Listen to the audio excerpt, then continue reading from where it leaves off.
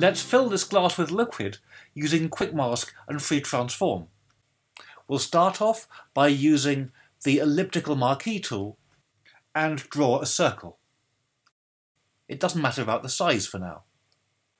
Go into Quick Mask by pressing the icon at the bottom or press Q on your keyboard.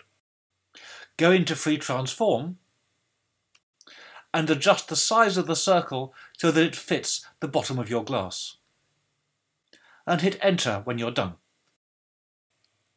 We need to duplicate this, so use the magic wand to select it, switch to the move tool and hold Alt or Option as you drag it up, and add the Shift key to move it vertically.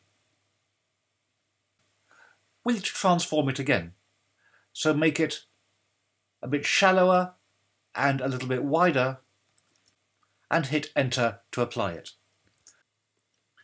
Press Q again to exit Quick Mask mode and let's add a new hue and saturation adjustment layer.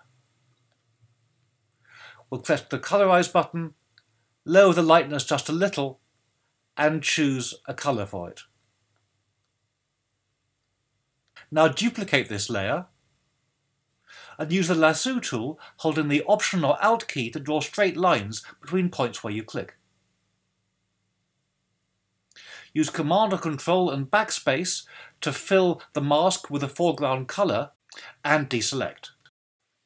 To soften these hard edges, hold Command or Control, click on the thumbnail to load it as a selection and switch to the original hue and saturation layer.